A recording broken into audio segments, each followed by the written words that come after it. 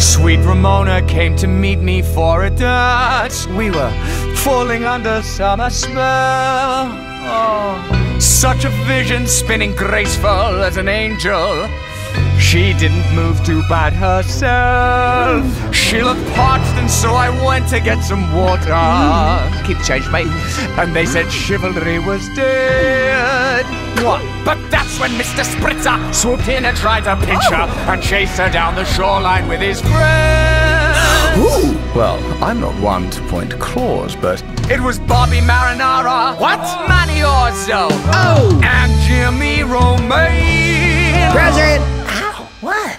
That's bullshit! And you know it! Easy, boy. I tried to save her, but that's where the wave hit! Same bloodthirsty face I saw when Ramona was swept away!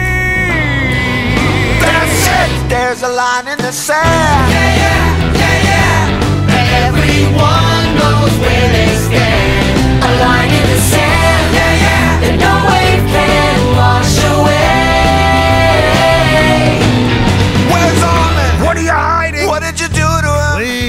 not fight. I wouldn't harm a hair on his chinny chin chin, but I can't speak for the riptide. I hope he can swim. Bullshit! Are you calling my son a liar? Are you calling my son a liar? Oh, Cacciatore! I understand. You're fired. Oh! Oh! Whose side are you on? There's a line in the sand.